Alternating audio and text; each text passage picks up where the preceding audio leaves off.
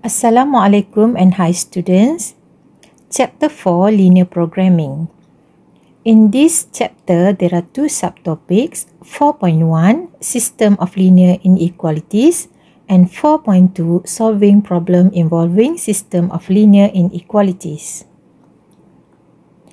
Lecture 1 of 3 4.1 System of Linear Inequalities. These are the learning objective 4.1 A represent the system of linear inequalities graphically. 4.1b identify the feasible region. 4.1c determine the system of linear inequalities defined by the feasible region. In this video, we are going to discuss on how to represent the system of linear inequalities graphically. So student, for introduction, guess the amount of money that Azrul and Haris have in their wallets at any particular time. Consider the following expressions.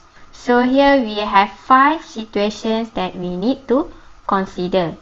So for the first thing, we need to identify the variable. How to identify the variable? Let X be the money of Azrul. So now we consider X for Azrul's money. Then let Y be the money of Haris. And Y is for Haris' money. So for the first statement, we have here, together they have exactly 50 ringgit in their wallets. So when the statement said together, it means we need to plus X plus Y so here we have exactly equals 50. So we can write as x plus y equals to 50.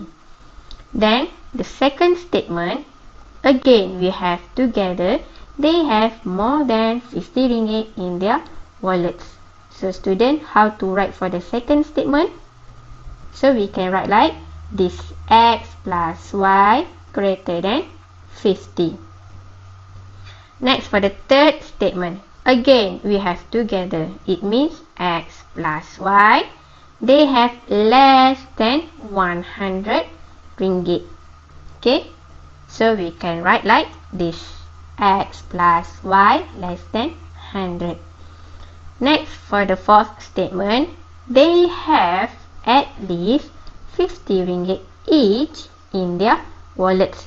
So, for the fourth statement, it didn't say anything about together, but it said about each. Means that X and Y works independently. So how to write for the fourth statement? We should write like this. X greater than or equals to 50. Then Y greater than or equals to 50. Because the statement said each. So we need to write it independently. It is not the same as x plus y greater than or equals to 50. Okay, student? The symbol is greater than or equal because of the statement said at least. So, for the last statement, we have they have at most 50 ringgit each in their wallet. So, again, we need to write x and y independently. x less than or equals to 50 and y less than or equals to 50. Next, let's look at about notations in inequalities. Inequalities involve one of the four notations. So here we have inequality less than. So what is the notation for inequality less than? The notation or the symbol will be like this. And then for inequality greater than, the notation will be like this. And then for the third inequality, we have less than or equal to, in other words, at most, or not greater than, or not more than, in other words, we say maximum, the inequality will be like this And then for the last inequality, we have greater than or equal to or at least or not less than or minimum. The notation or the symbol will be like this. Now, let's look at about example 1. Write inequalities for the statements below. So, for A, we have y is less than x. So, how to write for A? So, we just write y less than x. Next, for B, y is not less than x. That means y can be equals to x or y can be greater than x. So we just write y greater than or equals to x. For C, y is greater than twice the value of x. So y greater than twice the value of x which is 2x. For D, the sum of x and y is less than 7. So, for sum, we denote by x plus y less than 7. For E, the maximum value of y is x. So, we have y. The notation for maximum is like this, less than or equal to x. For f, we have two ways in order to write a statement for f.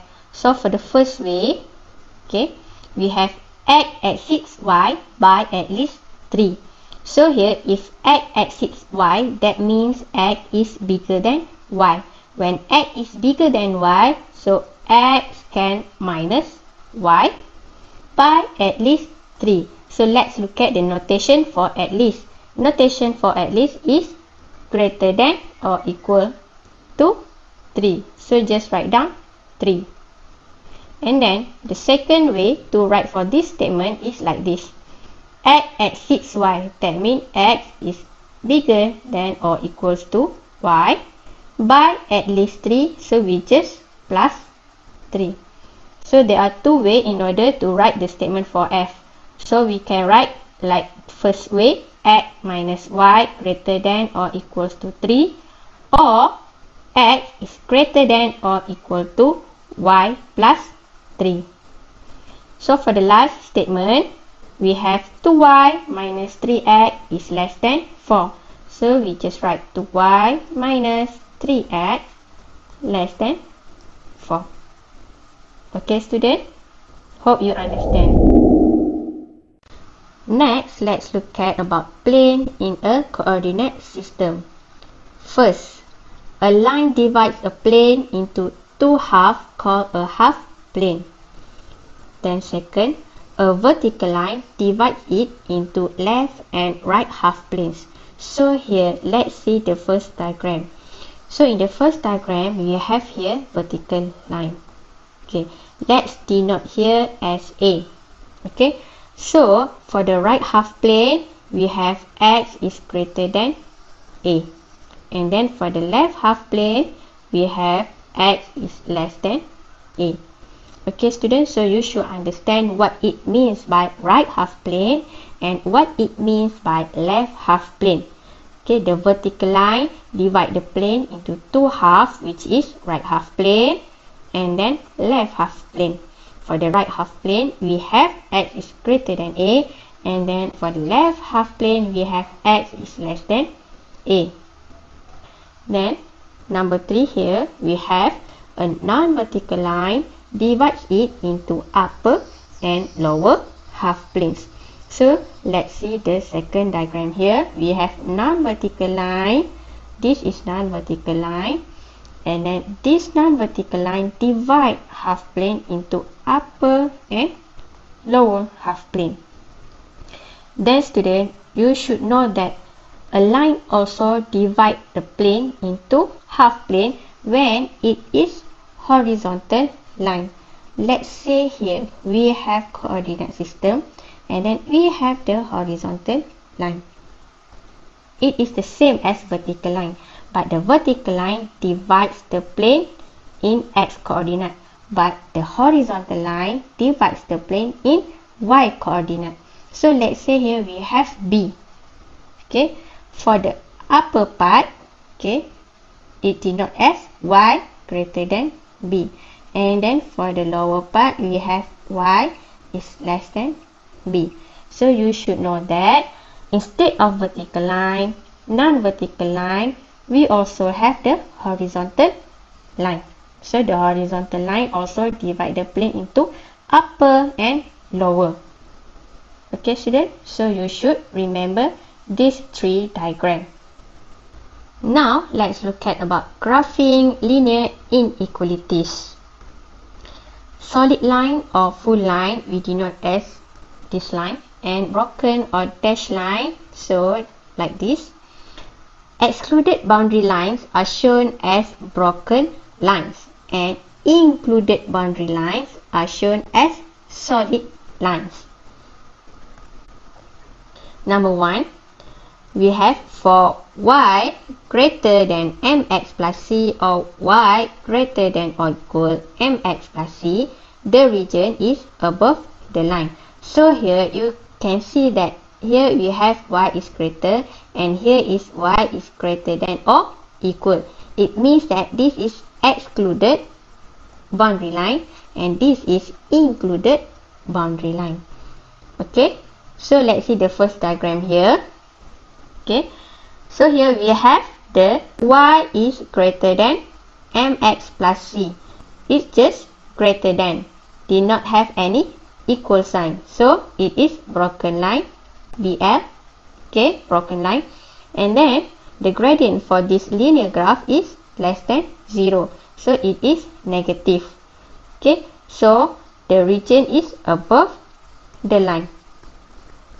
This is above the line. Next, for the second diagram here, we have solid line where we denote as SL for solid line. Okay, because of the inequalities here is greater than or equal. Then, the gradient for this linear graph is greater than 0, so it is positive gradient. So, we need to choose the region is above or upper the linear graph. Number 2, for y less than mx plus c or y less than or equals mx plus c, the region is below the line. So again, let's see for the first diagram here. Okay, we have linear graph, which is the linear graph is y less than mx plus c. So this is excluded boundary line. When it is excluded boundary line, so it is broken line. Okay, then the gradient for this linear graph is greater than 0. It is positive gradient. So when it is below the line, so it is here.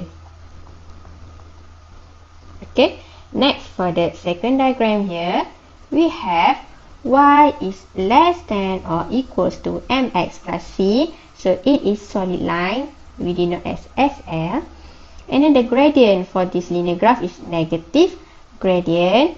Then we need to choose the region is below the line. So this is below the line. Okay student. So here what is the important thing that you need to know is which one is above the line and which one is below the line. So for above the line okay above the line is greater than or greater than or equal and below the line it is less than or less than or equal. Okay student? So you should know these two or you should differentiate between these two. So that you choose the correct region. The second thing that you need to know is you need to ensure that your y is on left hand side and it is positive. Okay? So you need to ensure that your y is on left hand side and it is positive. What if your y is on left hand side and it is negative? You need to rewrite your y so that it is on left hand side and it is positive. Okay for example you have equation like this. 4 minus y greater than x. So here, your y is on left hand side, but it is negative. So you need to rewrite the inequalities. So it will be like this. 4 greater than x plus y. But here, your y is right hand side, right? So, x plus y less than 4. So here we have your y is on left hand side and it is positive. Why we need to rewrite your equation student? It is because you need to choose the correct region first and it also can avoid you to do any careless mistake. So you should ensure that your y is on left hand side and it is positive. If it is not, you need to rewrite your inequalities.